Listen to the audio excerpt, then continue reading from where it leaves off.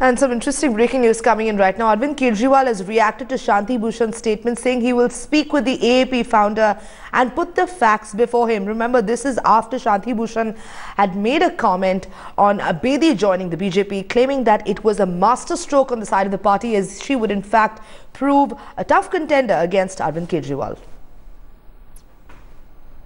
सवाल ये कि इतना अनुभवी सदस्य अगर इस तरह की राय रखता है तो ज़मीन पे जो कैडर है उसमें क्या संदेश जाएगा और ये चुनावी वक्त में क्या पार्टी के लिए नुकसान नहीं इस तरीके का बयान? वो तो उनको सोचना चाहिए मैं क्या बताऊँ? नहीं है कि नहीं है सर? आपको क्या लगता है? चुनावी अभियान को कोई डैमेज नहीं है। ऐसा कोई डैमेज नहीं है और यही दिखाता है कि इंटरनल लोकतंत्र है।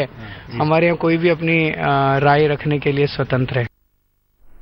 And Ankit Tyagi, our correspondent, now joining us live on the story. Ankita, this is becoming uh, extremely interesting and um, moreover extremely explosive with Kiran Bedi now joining Shanti Bhushan, uh, claiming it's a masterstroke. Prashant Bhushan going against it and now Arvind Kejriwal coming and saying that he will present facts up. Uh, uh, you know, a, a, common ploy, in fact, that's used by the AAP, AAP chief consistently that he will provide evidence. He, you know, he'll be making all these tall claims and charges once again.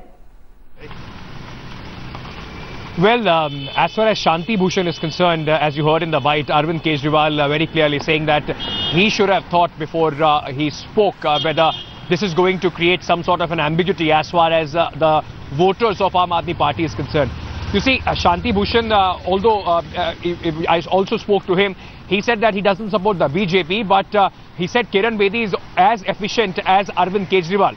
Well, uh, he is a founder member of uh, the Aadmi Party and the problem that the party will now uh, face is that there will be many who, uh, with, who are uh, uh, you know, still not the fence sitters, those who have not made up their mind who they want to vote for, they will be confused whether they should wait, vote for Arvind Kejriwal or Kiran Bedi. This is the problem that the party would be facing. That is why very quickly they got uh, uh, Shanti Bhushan's own son and Aam Aadmi Party leader Prashant Bhushan to come out and uh, disagree with his statement. Prashant Bhushan in fact came out and said that he does not agree with his father.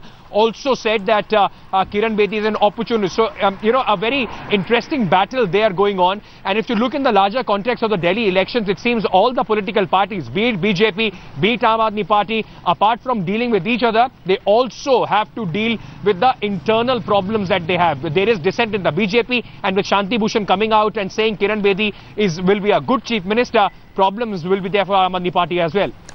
Ankit, more importantly, uh, how, how does this bode well for the AAP, you know, considering because there have been several hiccups and, you know, we're, we're just very, a couple of days shy of uh, the crucial Delhi elections that are all set to take place.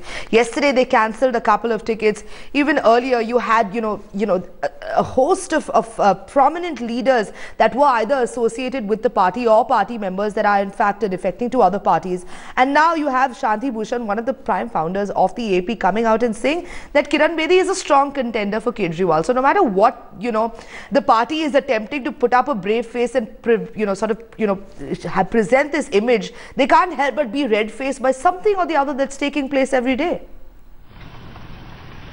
this is the nature of the politics now. Of course, people, uh, this election would be remembered for the turncoats. Right. Not only from the Aam Aadmi Party, but there are many from the BJP, those who have joined the Aam Aadmi Party, they've gone to Congress.